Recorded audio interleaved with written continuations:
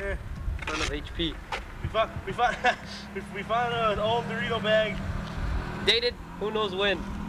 Notice how there's no expiration date on it. Wait, I think I can read it. And it costs 69 Careful, cents. careful. Careful.